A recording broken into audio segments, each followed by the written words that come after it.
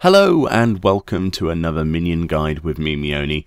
Today we're looking at the Bombfish minion. This awesome looking pufferfish minion can be obtained from the level 63 optional dungeon Shisui of the Violet Tides as a rare drop from the last boss.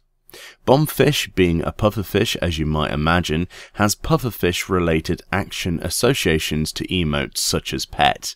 If you use slash pet, the bombfish will inflate temporarily in size, much like a real life pufferfish. This spiky fellow doesn't seem to have many interactions as others, uh, I wasn't able, for example, to get him to react to wave emote or a slap emote, but pet and poke both cause the inflation animation. The minion text reads as follows. Given its name after a fisher claimed to witness the wavekin explode after tossing it on a grill.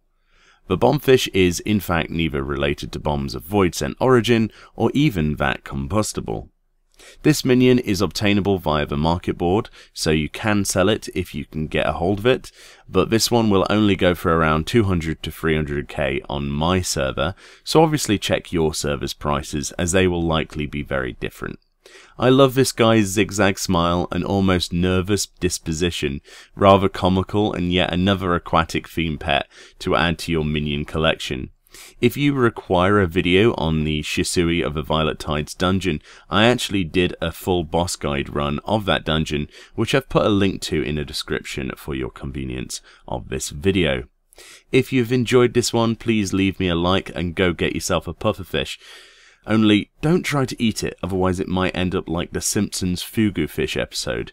Could be pretty messy. Thank you very much for watching, and I'll see you next time.